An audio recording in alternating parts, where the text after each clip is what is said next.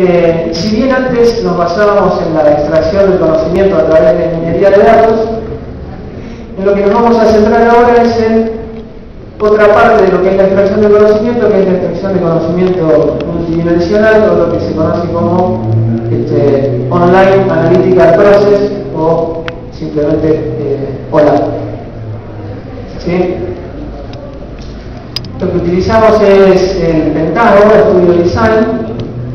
Esta es una herramienta eh, open source que cualquiera de ustedes puede bajar. Eh, puede bajar su versión completa desde la página de, de. Vamos a ir viendo lo que hace la suite Pentaho es eh, absorbió a, varias empresas que eran buenas en el procesamiento de datos, en lo que es OLAP, como como es Mondrian, en lo que es minería de datos, como es Weka, en la parte de procesamiento de datos, antes era Kettler, eh, lo acomodó, le, reasignó un nombre y creó diferentes eh, aplicaciones que conformaron esta, esta suite que vamos a, ver ahora. Todas las aplicaciones que vamos a ver las pueden bajar de la, de la página de SoundForge. Bueno, el objetivo que tenemos es eh, analizar y confeccionar una plataforma sobre esta herramienta que permita la extracción del conocimiento multidimensional. También lo que buscamos, en este caso, en esta instancia, es estandarizar y automatizar el proceso de extracción, transformación y carga, de esta manera para que cada unidad académica, como en es algo que manejan todas las unidades académicas, eh, lo que deseamos es que las unidades académicas que se interesen en esto exporten los datos del SIU ¿sí? y a través de un proceso automático puedan empezar a eh, jugar con ellos y a extraer el conocimiento existente en la base de datos. ¿sí? Eh, Cintia les va a explicar eh, un poco lo que estamos haciendo. Ellos están encargados de la parte de lo que es el preprocesamiento de datos y la, automatización de ese proceso ETL eh, e de extracción, transformación y Hola. Bueno, a partir del cubo que explicó Germán anteriormente, de desgranamiento, eh, que se obtuvo del CIURNI, lo que se pretende es determinar las causas de deserción de los alumnos. Para ello, eh, eh, a partir de las tablas de, dimensiones, lo que hacemos es analizar eh, como ejemplo la carrera en la que está inscrito un alumno, el nivel de actividad anual que tiene, ya sea la inscripción a exámenes, cursados o equivalencias, de un año en particular, o el nivel de actividad acumulado que tiene, es decir, desde que el alumno eh, se inscribió a la carrera. En cuanto a factores sociales, que también se comentaron, eh, como por ejemplo el estudio de los padres, ya sea que tengan o no eh, título primario, secundario o universitario.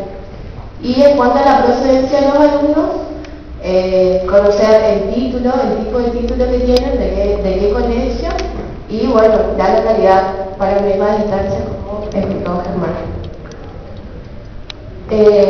Para completar el proceso ETL, a partir de, los, archivos de texto que se extrajeron del SIU, eh, lo que vamos a, mostrar eh, es cómo realizar la parte del proceso que falta con la herramienta Data Integration de la SIU La versión actual, eh, la última versión actual es la 4.0. Bueno, ahora les voy a explicar cómo es el, flujo de datos. Eh, a partir de estos archivos de texto, lo que hacemos es poner como entrada, eh, como una entrada, el archivo de texto. En este caso, ejemplo, es el estudio de los padres, relacionándolo a una eh, tabla de salida.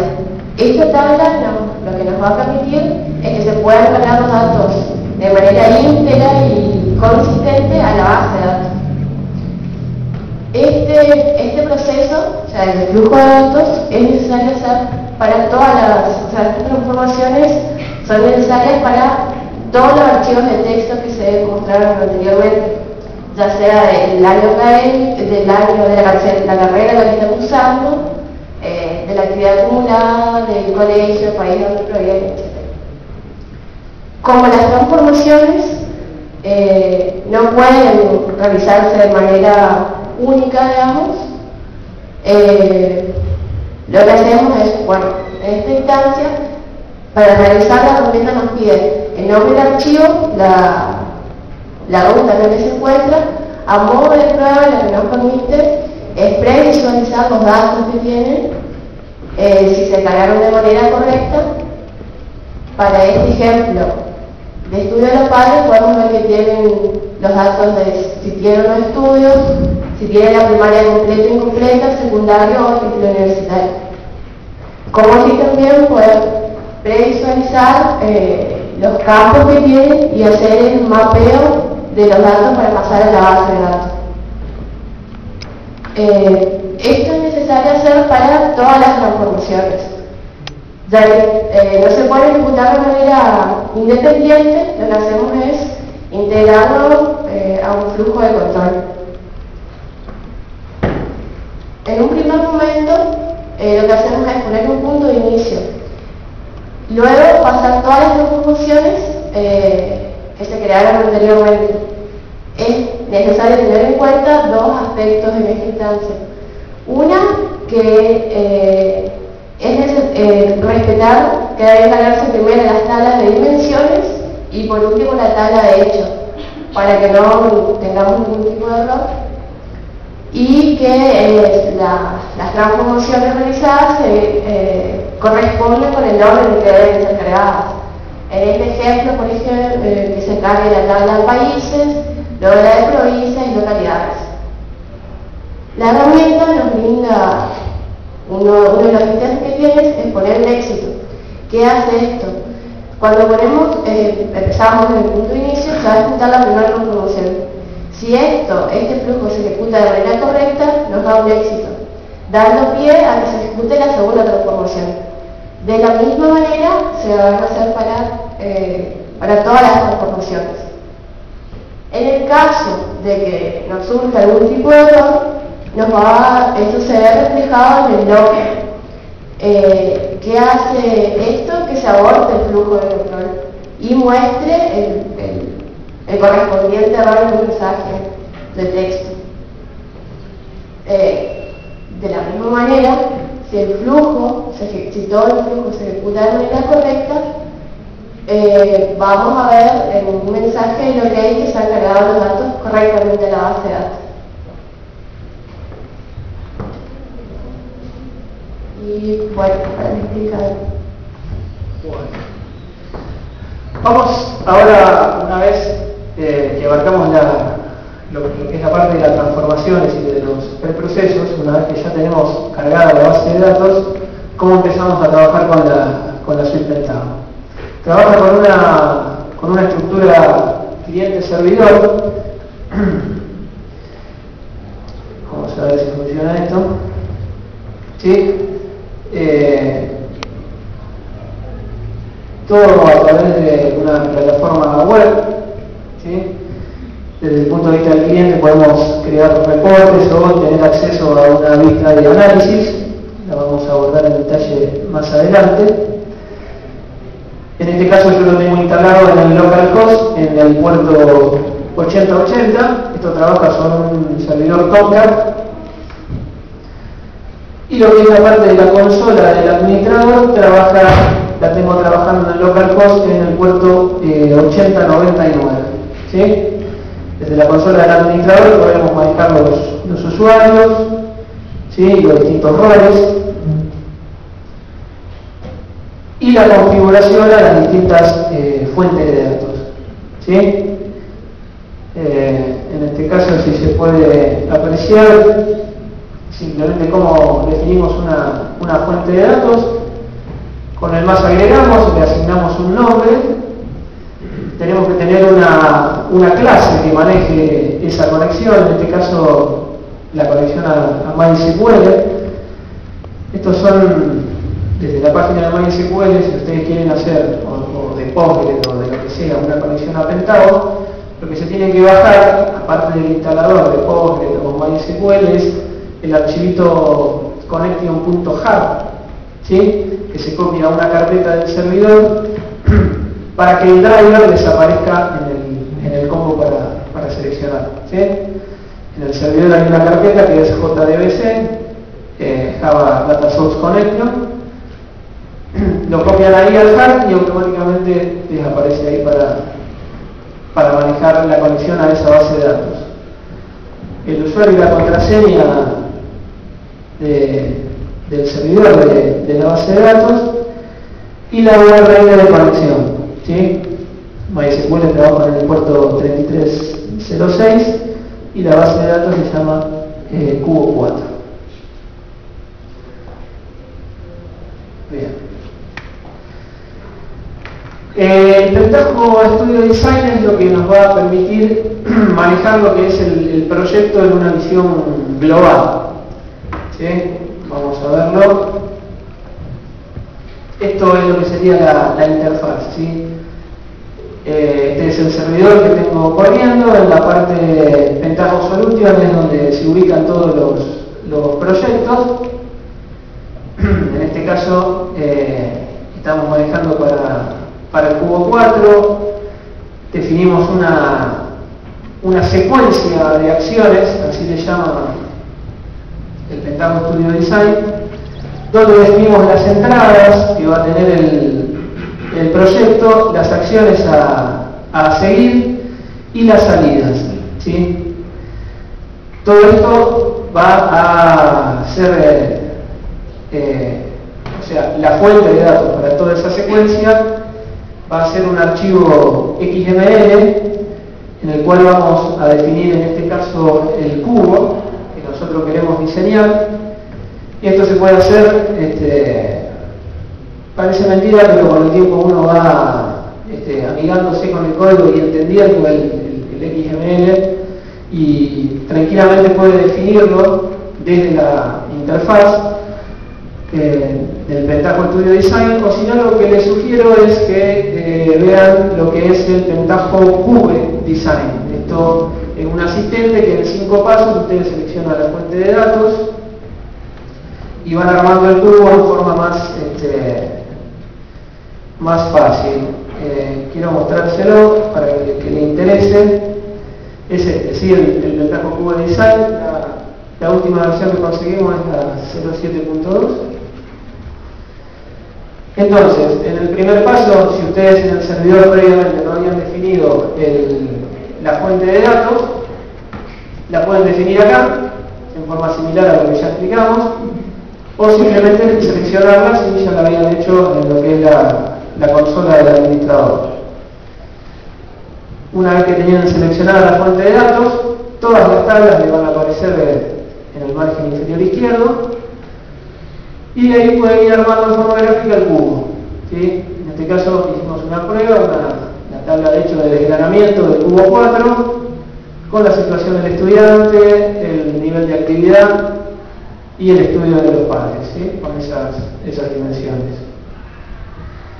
En el tercer paso ustedes lo que dicen es, bueno, la tabla de desgranamiento va a ser mi tabla de hechos y van a definir las medidas. En este caso nosotros vamos a hacer un count sobre, para determinar la cantidad de alumnos que nos vayan a ir apareciendo. Y en el cuarto paso, las dimensiones. ¿sí? De las tablas que elegimos, cuáles vamos a, hacerlas jugar como dimensiones. Ahí tenemos nivel de actividad, el estudio de los padres y la situación del estudiante.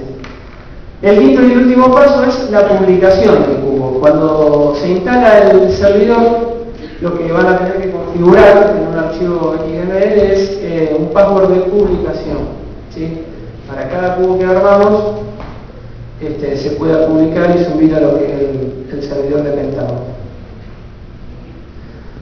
En lo que es eh, la parte del servidor OLAP, eh, lo que hace Pentaho utiliza lo que es lo que se llamaba o antes conocido como Mondrian, ¿sí? que es el servidor LAB que eh, ahora está integrado a lo que es la suite Pentado.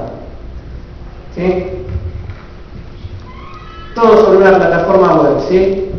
Acá lo que vemos es eh, tipo en una, en una tabla dinámica o lo que se llama un JPivot, eh, la situación del estudiante y el eh, estudio de los padres. Y la cantidad de alumnos que hay en cada instancia, por ejemplo, la situación del estudiante, alumnos que ingresaron, 9 para padres que tienen la primaria completa, 9 para los que tienen secundaria completa y 18 para los que tienen eh, título universitario. Alumnos que no egresaron, los alumnos que no egresaron son los que están en, pos de egresarse, pero que todavía no se han, no se han matriculado, los que nunca tuvieron actividad y los que tuvieron escasa actividad, menos de, de 6 materias.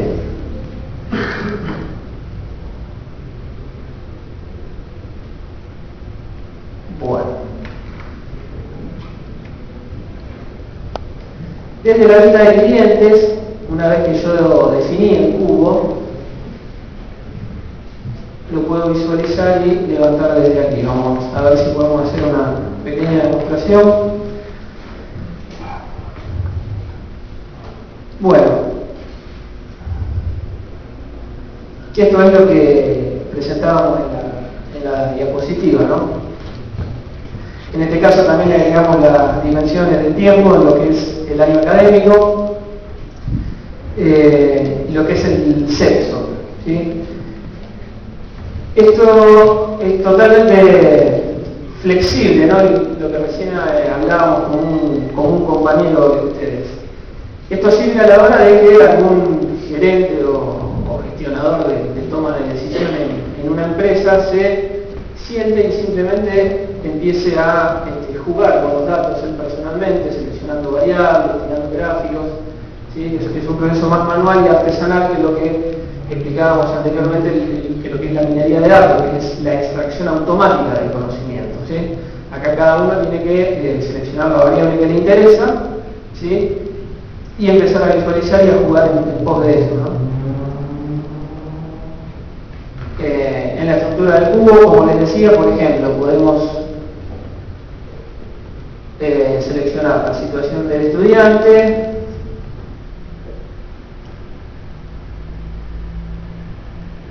y que es el, estudio de los padres.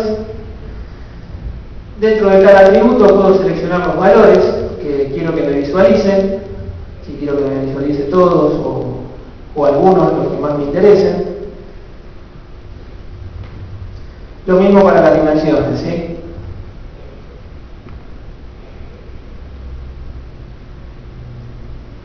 Y ahí llegamos al gráfico que estábamos viendo antes en la diapositiva, a la tabla, no al gráfico.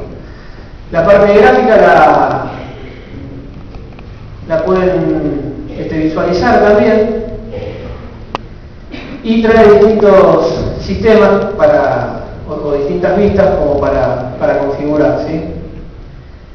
Este, algunas de las que le gustaron a los, a los chicos, vamos a ver. ¿sí? gráficos de torta, donde se ven en rojo, por ejemplo, la cantidad de alumnos egresados, ahí se ven chiquitos, para el estudio de los padres tiene una, mayor incidencia el título universitario.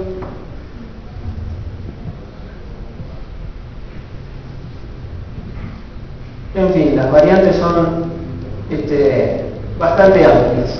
¿sí? Es cuestión de, ponerse y, jugar. Si quiero ver otro punto de vista de la organización o del negocio, puedo agregar algunos atributos y sacar otros de manera muy sencilla.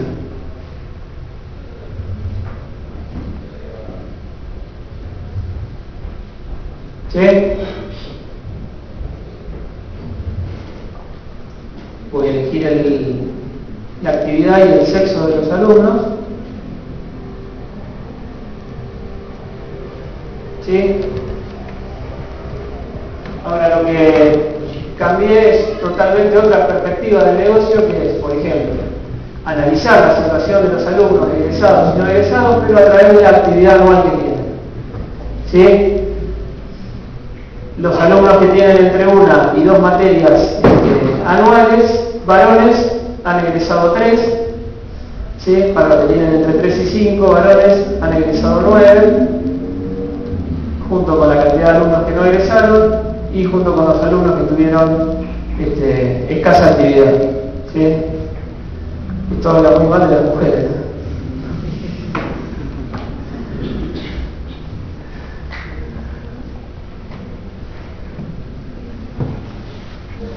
Bueno, como futuras líneas lo que estamos eh, es analizando el cubo 2, que es pura y netamente del rendimiento académico, ¿sí? está desarrollado para evaluar el trabajo de los docentes y el rendimiento de los alumnos en cada una de las cátedras y de las materias por año académico. Permite analizar el resultado de los exámenes, las equivalencias, las materias, esto dentro de cada turno de examen, e incluso discriminar si el turno de examen está en un periodo lectivo o en un periodo eh, vacacional. Eh, y lo que es el cubo 3 de procedencia que permite analizar la evolución de la matrícula eh, de cada carrera, discriminando por país, por provincia, que sería un análisis más demográfico. Esto, sobre todo el cubo 2, fue de, especial interés de los docentes de la carrera porque siempre está ahí el, el, el y maneje, si me dejan la, expresión entre los alumnos que a veces piden turnos especiales, hacen crear los turnos especiales, se anotan, no vienen, rinden, el docente va, viene, y bueno, ahí vamos, vamos a ver qué resulta esta investigación, esperemos que no sea de, de conflicto. Bueno, estos son nuestros, nuestros datos y muchas gracias y estamos a su disposición para cualquier consulta.